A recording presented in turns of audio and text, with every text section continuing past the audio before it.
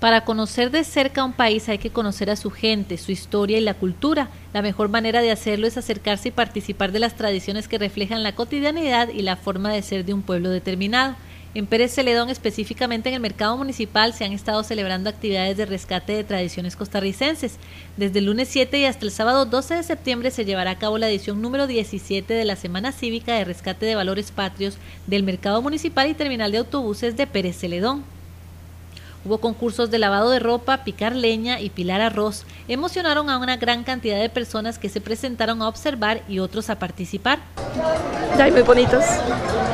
¿Qué es lo que más les gustó? Todo me está gustando. Oh, muy lindo en realidad. Esto es el verdadero costarricense. Estos, son los grandes valores que no hay que dejar perder, ¿verdad? Que hay que siempre mantenerlo y felicitar a los organizadores, de verdad. Muy bonito me parece, está bonito. ¿Cuál fue el que más le gustó? Este del maíz me gusta mucho. Me deseara venir todos los días, pero no, no puedo. Puede, ¿qué es lo que más le ha gustado?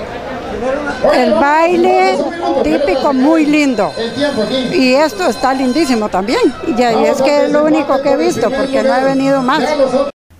Las tradiciones costarricenses son tan variadas como el paisaje mismo del territorio. Cada provincia y cada comunidad tiene las suyas, pero hay unas que son de todos y en las que cada costarricense se ve reflejado, pues representa su pasado, su día a día. En las fiestas tradicionales se venden tamales, picadillos, elotes, arroz con variadas carnes, chorreadas, refrescos naturales, los cuales preparaban nuestras abuelitas y aún muchas personas rescatan las comidas típicas. Este viernes 11 de septiembre se realizó en otras actividades el desgrane de maíz.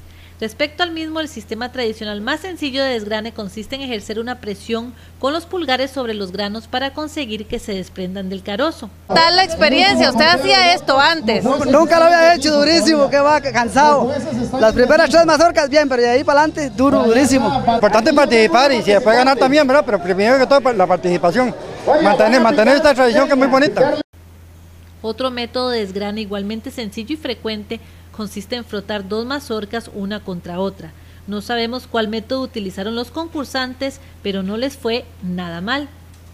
El conocimiento y vivencia de las tradiciones y costumbres del cantón permite reconocer las raíces del ser costarricense. Esto facilita la unión, el respeto entre las personas y permite identificar cada cantón.